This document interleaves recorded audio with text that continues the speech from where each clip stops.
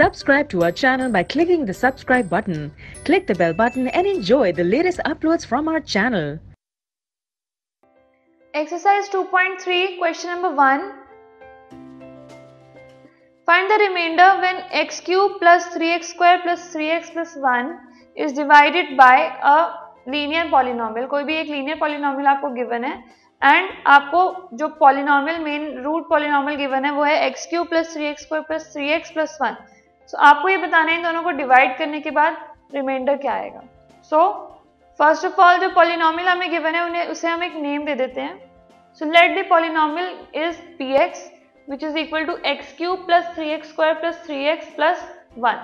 so अब सबसे पहला पार्ट अगर हम देखें तो अगर पॉलिनॉमियल को हम एक लीनियर पॉलिनॉमियल किसी भी लीनियर पॉलिनॉमियल से डिवाइड करें so if the linear polynomial is X plus one fine. एक हमें पी एक्स पॉलिनॉमल गिवन है एंड एक लीनियर पॉलिनॉमल हमने फ़र्स्ट पार्ट में देखा है एक्स प्लस वन सो उसको अगर हम चेक करेंगे तो X is equal to minus one पे हम उसकी वैल्यू निकालेंगे which is equal to minus one cube plus three into minus one square plus three into minus one plus one ultimately solve करने के बाद हमारे पास आंसर आया zero fine so the reminder after dividing these two is zero दोनों को हमने divide किया तो रिमाइंडर आया ज़ीरो नाउ नेक्स्ट अगर हम ऐसे ही, जैसे हमने x प्लस वन एक पॉलिनॉमियल लिया लीनियर पॉलिनॉमियल ऐसे ही हम x minus one upon two अगर ले लें तो x की वैल्यू आ गई हमारे पास one upon two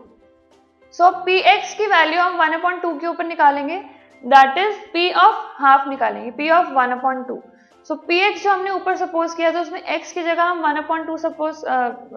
substitute कर देंगे which is equal to one upon two cube plus three into one upon two square plus three into one upon two plus one